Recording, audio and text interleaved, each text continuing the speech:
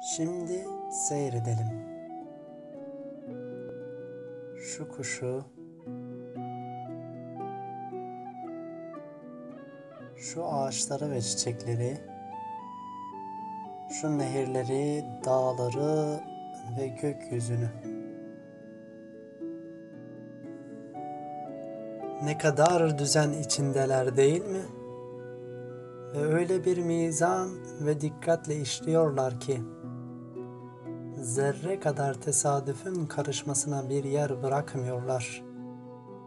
Ve bize gösteriyorlar ki serseri tesadüf, kör kuvvet, gayesiz, mizansız, şuursuz tabiat hiçbir cihetle bu hakimane, basirane olan has mizana ve gayet ince intizama karışamazlar.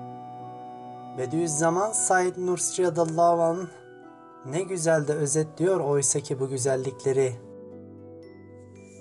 Başını kaldır. Kendini tanıttırmak isteyen, faal ve kudretli bir zatın harika işlerine bak.